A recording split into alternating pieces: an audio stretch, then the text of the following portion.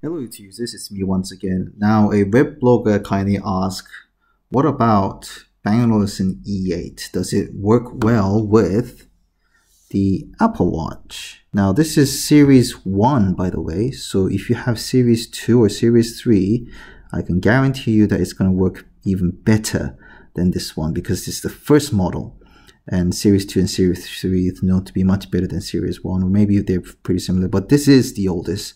So i'm going to show you a demonstration based on this series 1 uh, apple watch.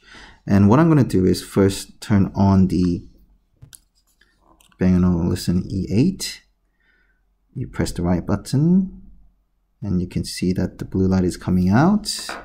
And immediately you should see that the Bluetooth, yep, there you go, it's connected, okay? So it's all ready to go.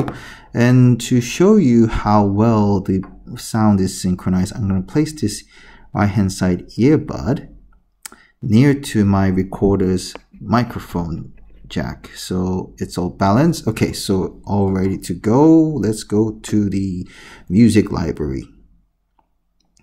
And I randomly chose uh, the Second Law by Muse album and I'm going to play Panic Station. So immediately you can see that the Apple Watch is showing you uh, the track. And what you do is if you want to go for the next track, you go.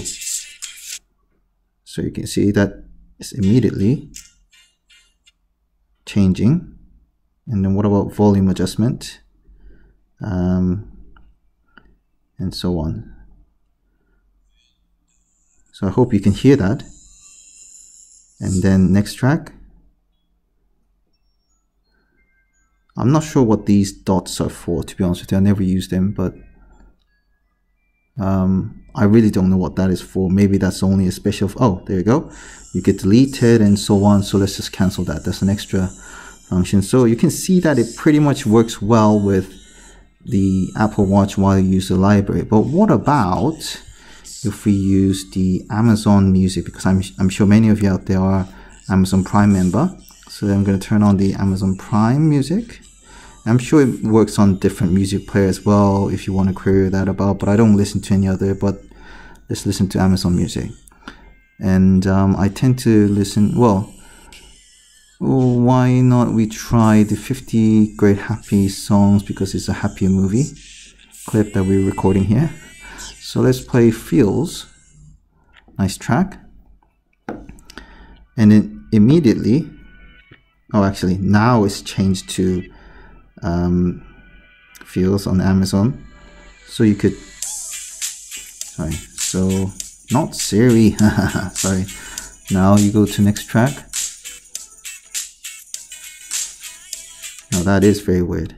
Okay. I think it's mainly because uh, it needs to load in time. Oh, now it's working very well.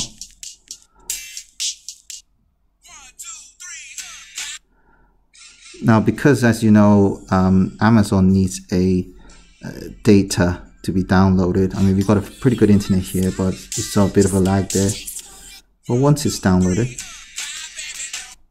yeah, you can see that the track is pretty good um, synchronize and so on. If you want to change the volume you can see the difference here.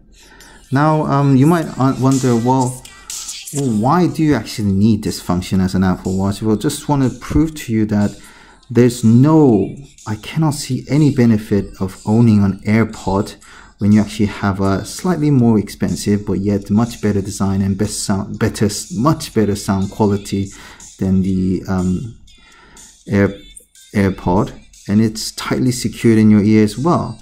Um, well, that's one thing I want to show you. So it works like an Apple product.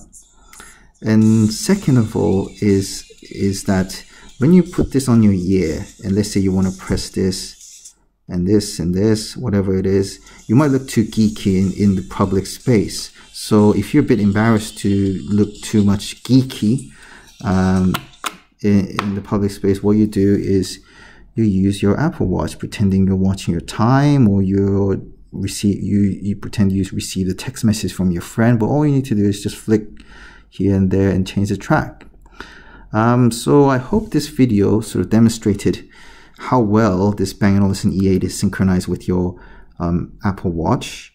And if you have any more further queries, please do not hesitate and ask me a question. As you know, I'm trying my best to come back to you, trying my best to come back to you with your queries. And um, I hope this video also fulfilled that duty in some ways. So thank you very much for watching this video. This is Love Jesus, please. Bye.